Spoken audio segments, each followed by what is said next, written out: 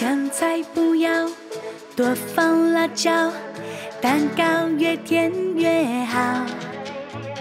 唱歌跑调，最爱夜宵，聚会只喝一杯就到，爱穿旗袍，喜欢撒娇，还有两包没用的唇膏，见招拆招，说说笑笑，姐妹之间的吐槽。你喜欢安静，我爱热闹，看似会不大，却很协调。就算什么不说，也能猜到，已经不需要相处的技巧。你喜欢安静，我爱热闹，看似会不大，却很协调。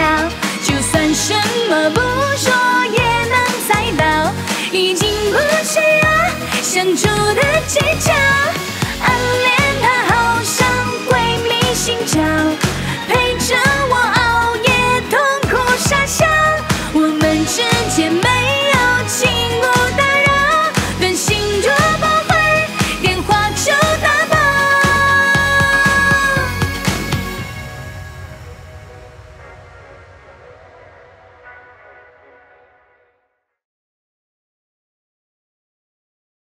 今天真是太幸福了，看了一天女神，我觉得我今晚都睡不着了。直播结束了，大家辛苦了，赶紧抓紧时间回家休息了。辛苦了，丁总。辛苦了，丁总。哎。咱们这这直播数据也太漂亮了，这些观众都吵着要订房链接呢。明天默默退房之后，这间房就可以接受预定了。好不过我看啊，照今天这个阵势，明天的客房根本安排不过来。咱们的基础设施也搭建完成了，后面的进度估计会很快，所以预售的链接先挂上去。老刘，你安排一下。好，没问题。看来啊，咱们现在做的这件事情，要狠狠的在酒店历史上留下一笔了。辛苦了。好，辛苦领导，辛苦领导。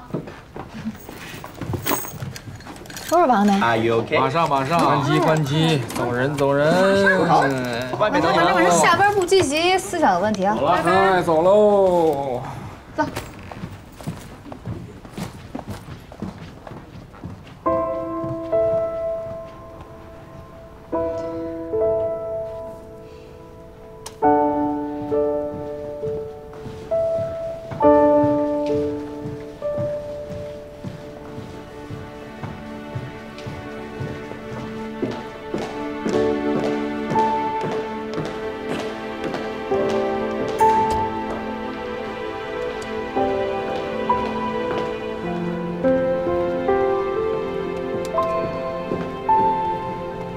辛苦了，效果很棒。谢谢。哎，你还没吃饭吧？要不要一起？不用了。如果你想继续留下来，总得学会跟我相处吧。如果这次我输了，我自然不用留下来跟你相处。但如果是我赢了，恐怕是你应该好好学着该怎么跟我相处。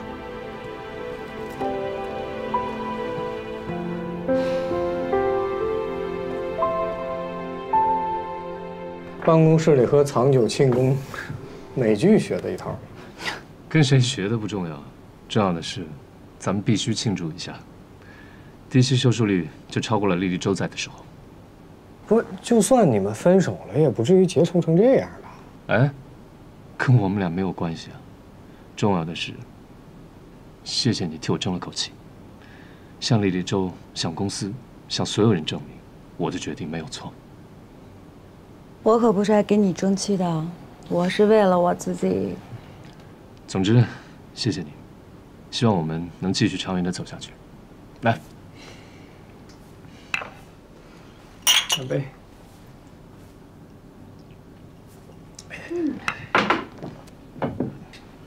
哎，我不能喝了，我晚上还得写稿呢。没事儿，说不定你喝了之后更有灵感。不好了，野哥，丽丽姐来了。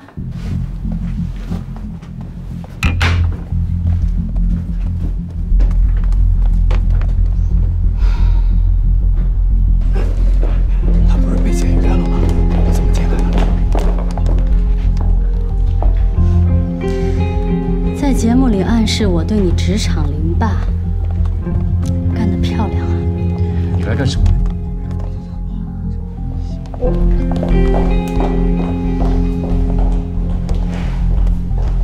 我在这里工作了十二年，我来这里的理由多了去了，你想听哪一个？咱们谈谈。不是要跟你谈谈，我还要跟你们谈谈。叫保安了吗？我不敢。刚才我从楼下一路上来，看到我的节目海报全都换成了温如雪。你们是不是忘恩负义的也太快了一点呀？觉得我没有话语权了，就没有利用价值了？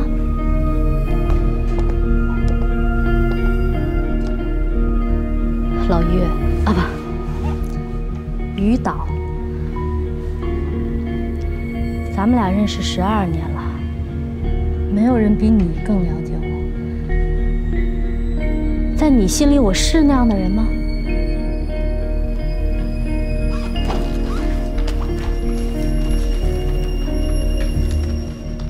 就没有人替我说句公道话吗？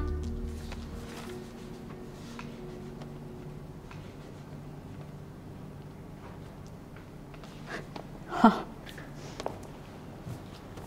这太尴尬了。丽丽，不要这样。那你要我怎么样？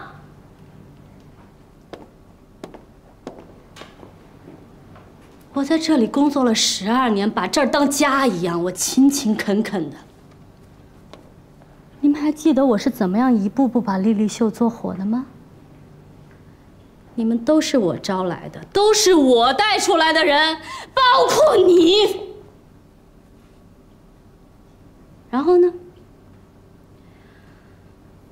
就因为我过气了，就因为我说了几句你们不爱听的话。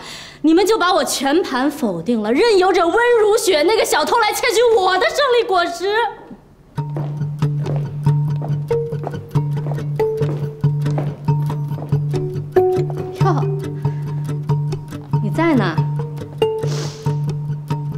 没想到你已经有资格堂而皇之的站在这里了，真的是可笑。一个像你这样。哗众取宠的人竟然抢了我！你给我闭嘴！竟然已经敢公然跟我叫板了啊！是为了他啊！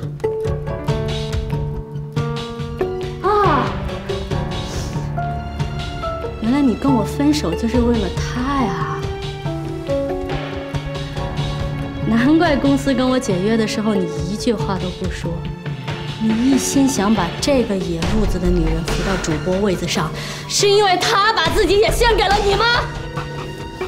几天没有人听你说话，你就受不了了？你刚才有一句话说的很对，你现在没有话语权了，这儿的人没有义务在这里听你自说自话，难受吧？快哭了！你知道之前对你敢怒不敢言的人有多痛苦了吧？丽丽，差不多就行了，别让自己这么难堪。沈坤，你把手放开。现在不是你逞强的。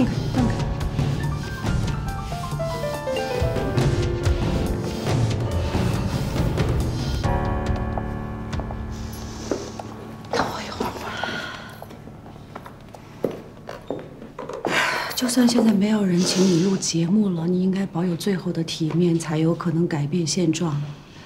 不是这么咋咋呼呼的，让所有人都知道你很害怕。没有一个人站出来替你说话，是吧？你是不是应该想想，你为什么做人这么失败啊？不要像一个疯子一样，只知道撒泼。管管你的女人，好丢脸的。走吧，老公。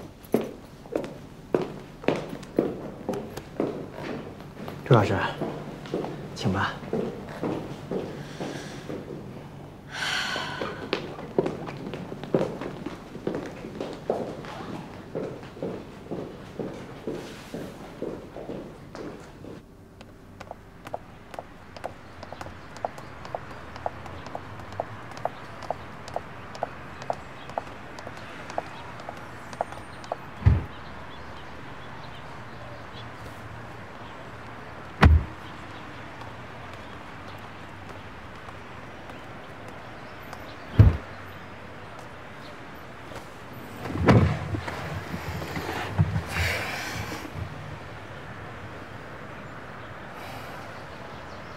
生气了？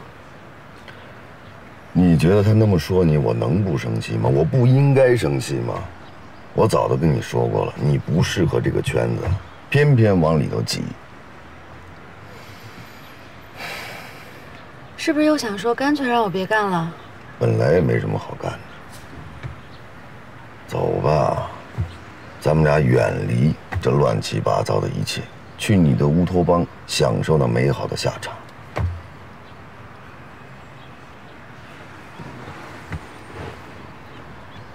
说的有什么问题吗？明明你心里边有诗和远方，为什么不去实现它呢？那里风景如画，远离人间喧嚣。我开个馆子，你当你的老板娘，咱俩每天耳鬓厮磨，朝夕相伴，再养匹白马什么的，那不是神仙眷侣般的生活吗？什么神仙眷侣？白先生，我现在憋着股劲儿，我恨不得跟人打一架。你是来给我泄火的是吗？卸掉了，卸掉倒好了。我倒想看看你有多大的决心，能坚持到什么时候。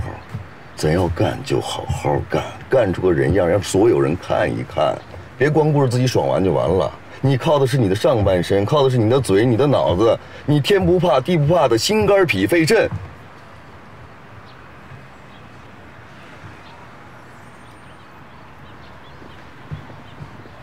像我的男人。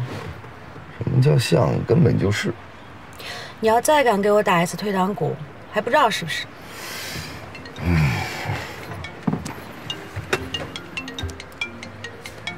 你要是不想接，我来接。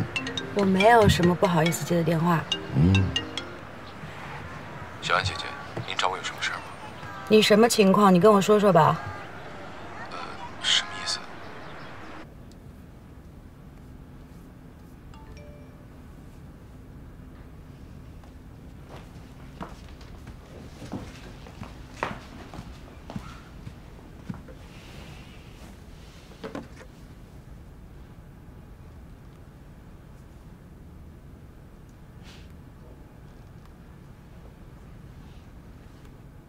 七月，既然你已经把那件事告诉了小杨，我也就没有什么好顾忌的了。你这么做，只会消耗掉我们之间的最后一点情分。对你，我尽力了。明天我就会安排公司把之前那本书得到的所有版税都转给你。给你出书的事情，我也安排了编辑联系。以后你有什么困难，我还是可以帮你。请你学会对你自己的生活负责，对你自己负责。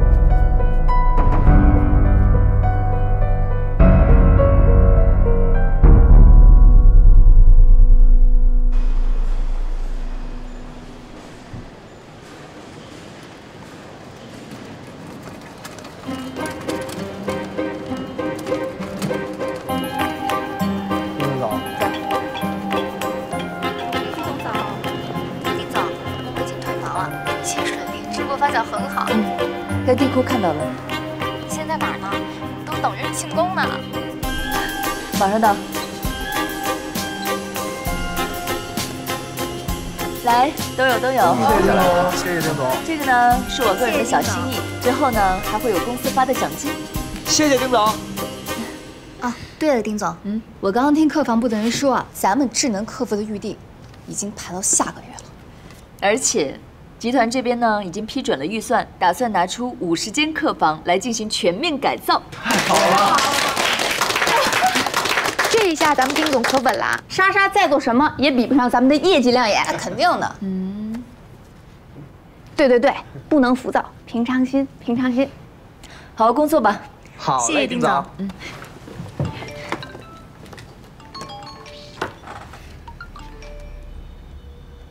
打火机，哦，完了，没跟你说话，我在猕猴家做直播呢。咱们酒店上热搜了。你上次给我抢那个男人，他是个什么玩意儿啊？根本根本就没钱。默默要控告咱们酒店智能客房信息泄露。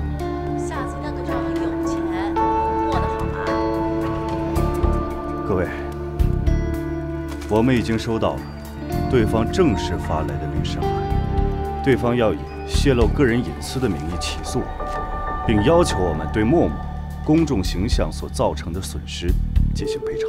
这声音数据是酷艺的设备采集的，网络也是他们搭建的，那会不会是他们那边出了问题？不可能，酷艺是不会泄露客户的隐私的。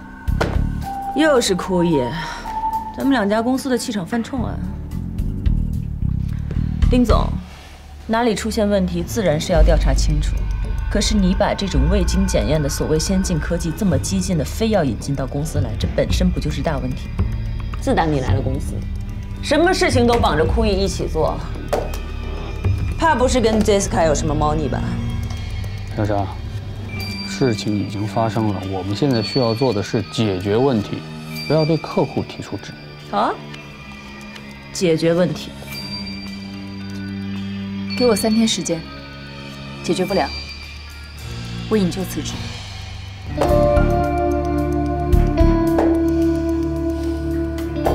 现在呢，还不是规则的事，把问题解决掉就好了。我希望大家不要只会分享自己胜利的果实，而承担不了任何意外。如果你希望自己被公平对待，请你公平地对待别人。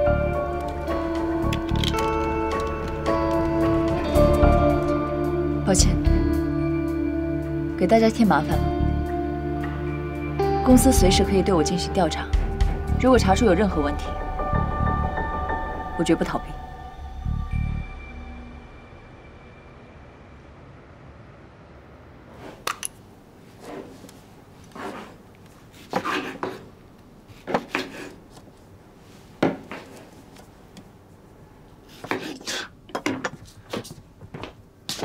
你不是一直嚷嚷做饭吗？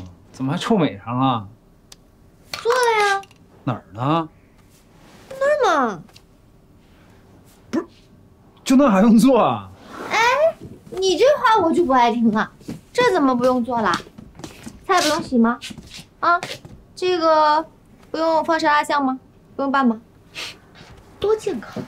嗯，行行行。哎，快！怎么了？段旭，你眼角有鱼尾纹了，我帮你抹一点完美眼霜。哎，别别别，你停停停，你你自己抹你自己抹，我这切菜呢，我这忙着呢啊！你看，你看你自己弄你自己弄，我这切菜呢。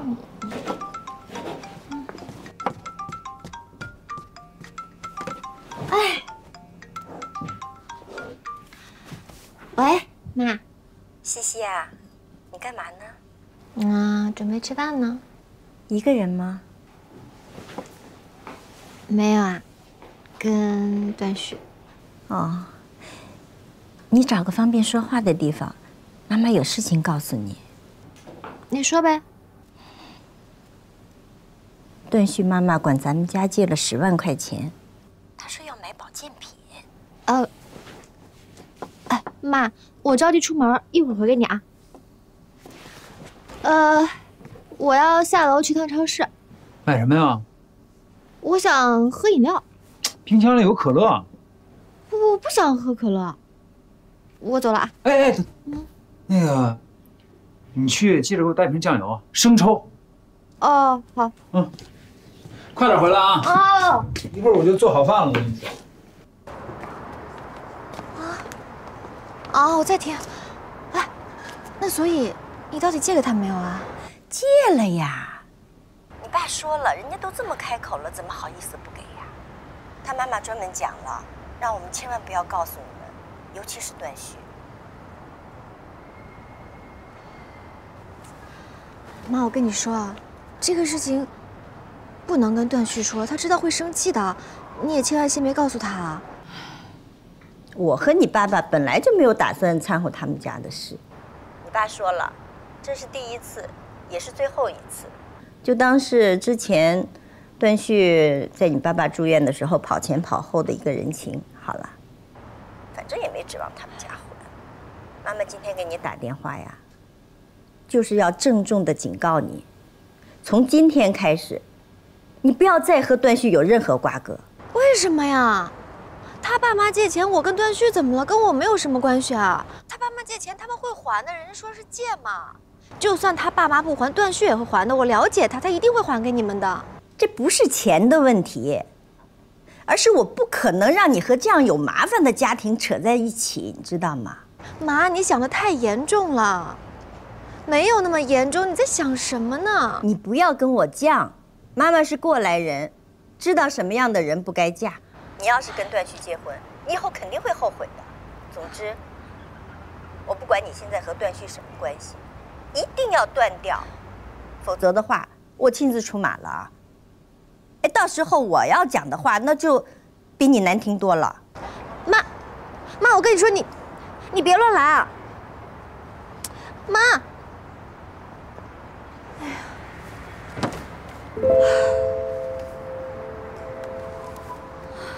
呀。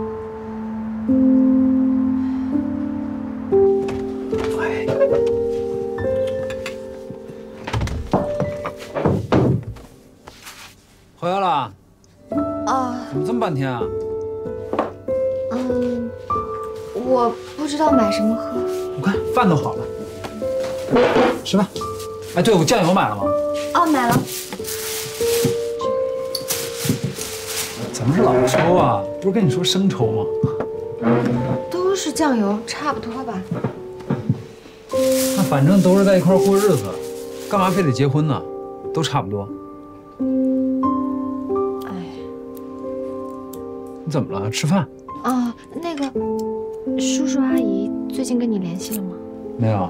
怎么了？啊，我就是在想，好久没有去看他们了。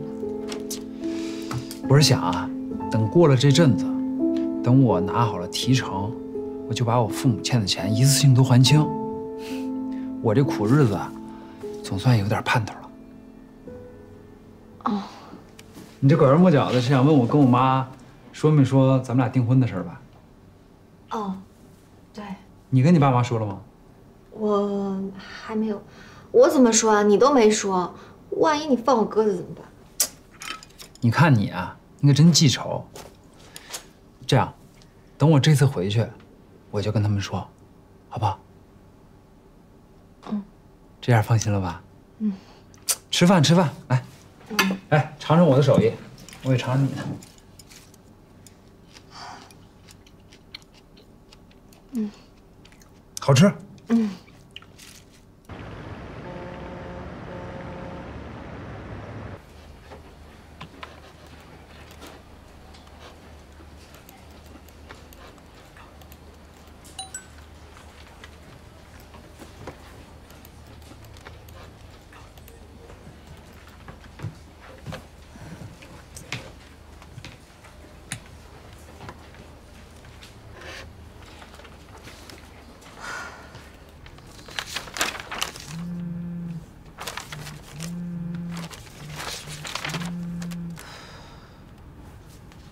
你可真会掐点儿啊！我快要录节目了，赶紧说什么事儿？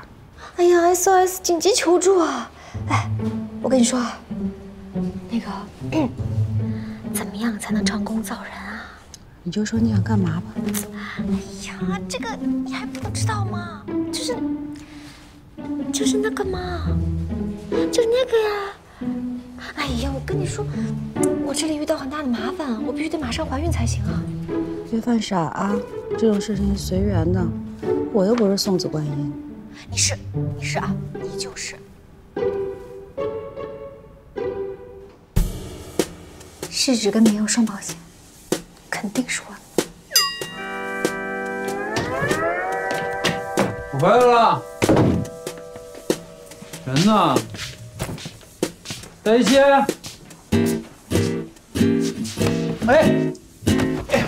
别别别别！我跟你说，我今儿一天没吃饭，让我先吃口东西行不行？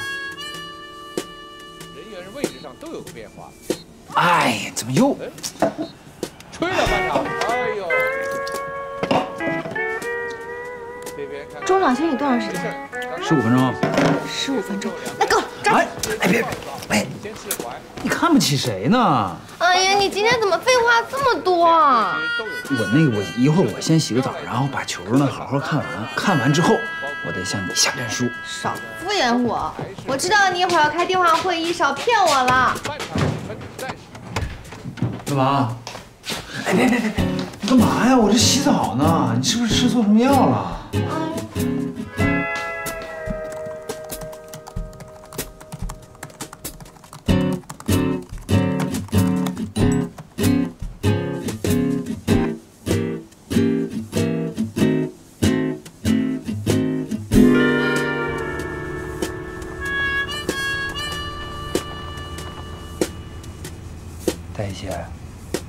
路对吗？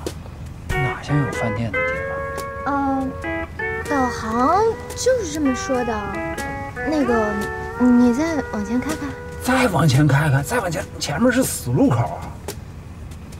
嗯，那这也挺好的。嗯，你不觉得这儿特别安静，特别刺激吗？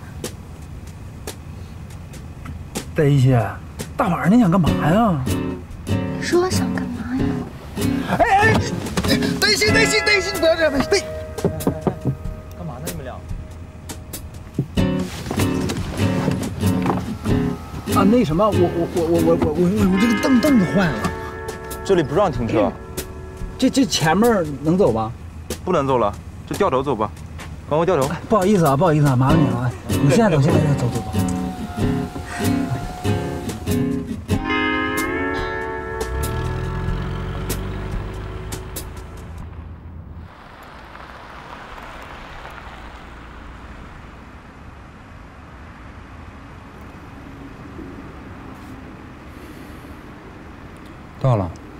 你上去吧。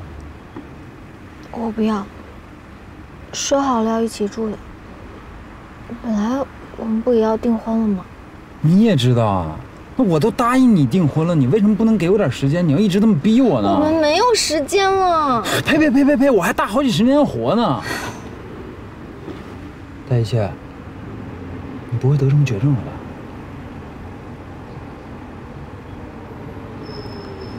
嗯，医生说。哎，得得得了吧，你又不会撒谎，你还是省省吧。我跟你说，你这个人啊，只在乎自己想要什么。我已经一再向你妥协了，我现在就是需要一点时间，说服我自己可以结婚。你为什么就不给我这个过程呢？我觉得咱俩还是冷静冷静吧。你这种相处方式，我有点接受不了。您上吧。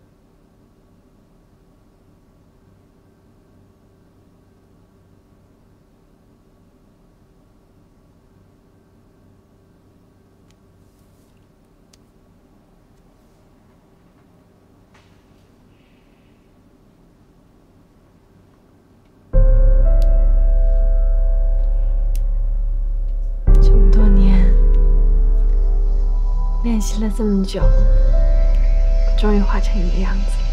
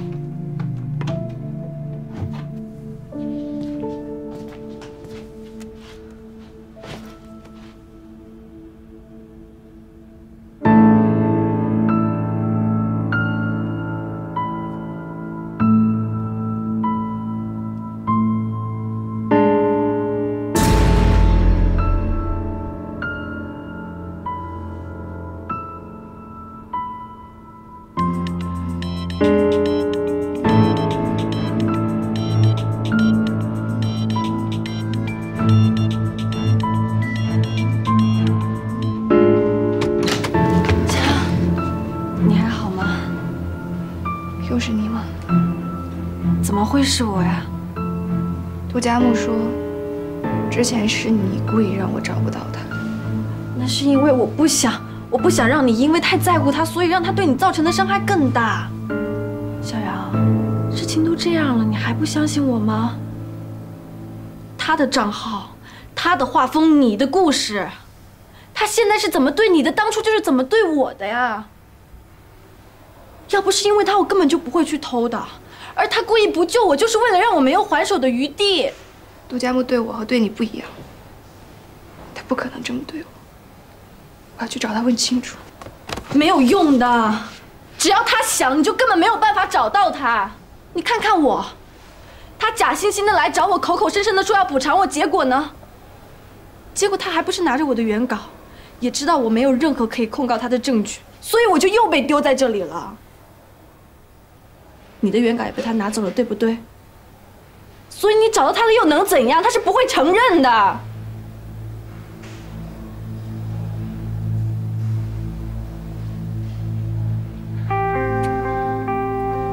沈阳，像我们这种无名小卒，根本奈何不了他。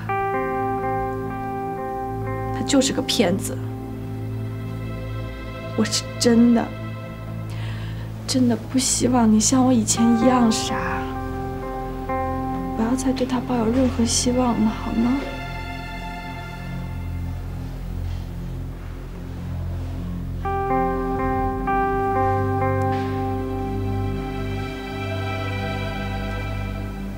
没关系的，别害怕，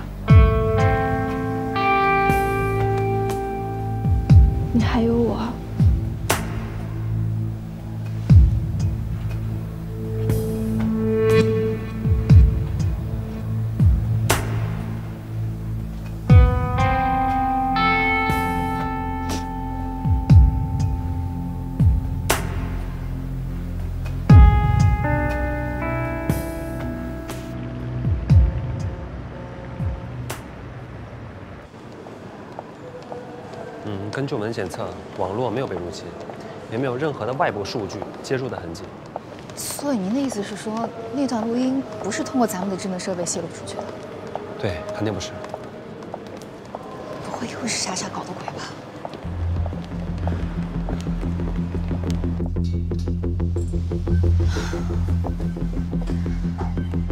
咱们这次盯得这么紧，莎莎应该没有机会下手吧？是谁的？这么做，对其他人也没有任何好处啊。那技术员的意思是，那录音是用其他设备录的呀？对，手机或者是录音笔。那要是这样的话，这个设备肯定不在这个房间里，咱们这样找找不到。重点是，他的设备是从什么时候开始放到这个房间里的？只能是直播当天，因为直播之前，技术人员专门用仪器检查了屋子里的所有电子设备。就是为了确保客人的隐私和直播安全。当天的话，除了他本人，还有谁进来过？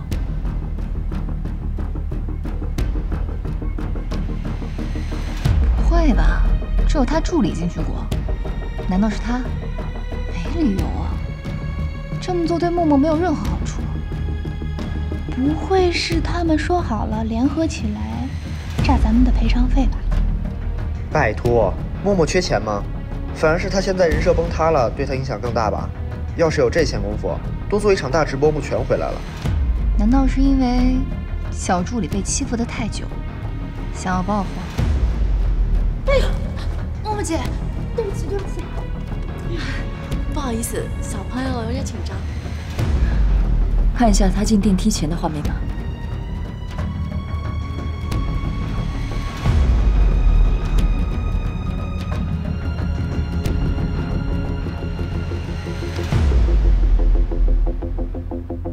所以你确实是听到了，是客房经理擅自替他刷了电梯的门。现在楼上正在播着呢，我可不敢因为这种事儿打搅他。您就帮我刷一下电梯吧。更何况，你不是已经认出来我是谁了吗？难道还对我不放心吗？这个，哎呀，经理好。啊！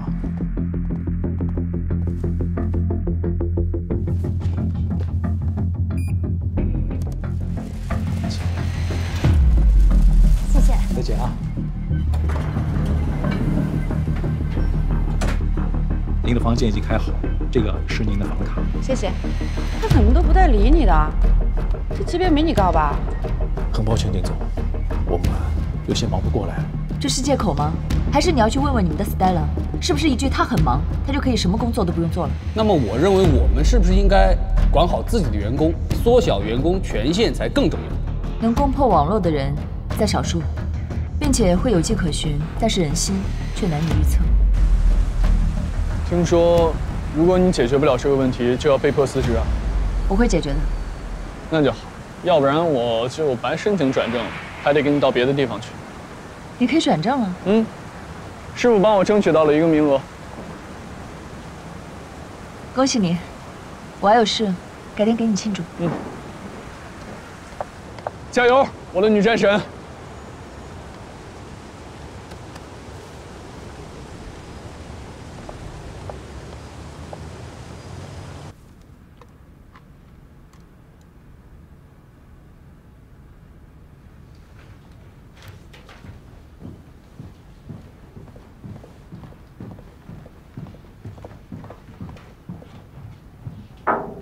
找我啊？坐。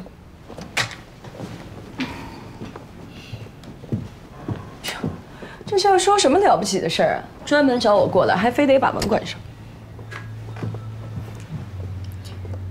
咱们的酒店是不是有规定，未经住店客人允许，以及上级特批的情况之下，员工是不得擅自的替任何无关人员或者是访客刷员工卡进入客房区域呢？你就问我这个呀？你自己去看酒店守则不就行了吗？那如果有这种情况，如何处置？一经发现，若未造成不良影响，则做警告处分。那如果是造成了不良影响呢？停职查看或者开除，相关上级承担管理不力的连带责任。你究竟想说什么呀？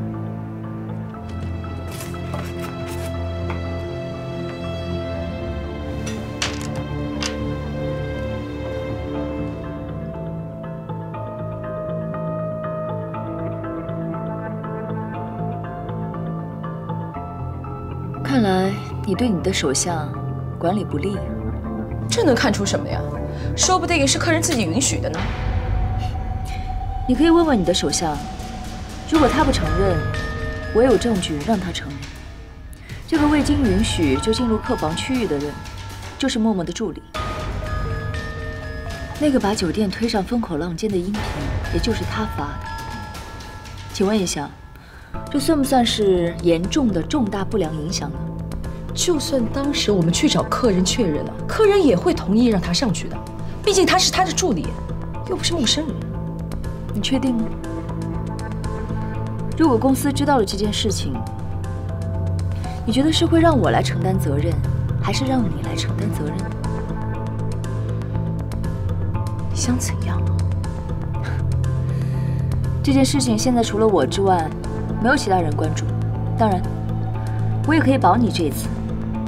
不过，如果这件事情最后是从我手上解决的话，我希望以后你不管是在我身前还是在身后，都最好给我老实一点。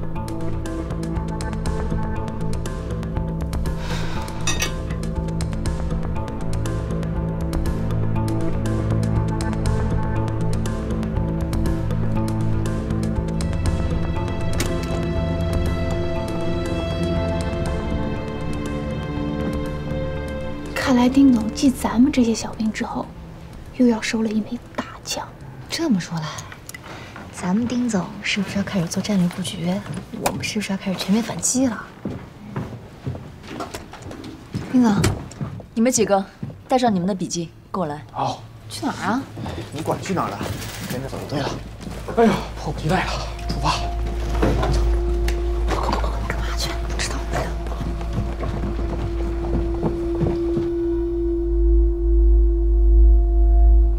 我想我们的消息没有错。既然泄露信息是由你们公司内部矛盾所引起的，就与我们的智能设备无关，是不是就可以对我们撤诉呢？就算与你们的智能设备无关，这个酒店也要负责任。堂堂一个五星级的酒店，安保措施一塌糊涂，你们的工作人员也很疏忽呀。竟然让一个小助理轻而易举的上了默默的房间。很抱歉，这部分的确是我们的失误。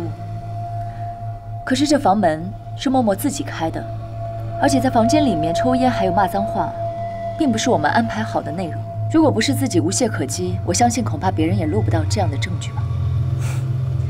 既然你们是来求和的，那你们是不是应该有求和的态度啊？再说了，就算我揪着你们的错误不放，你们能拿我怎么样？默默小姐，你恐怕误会了。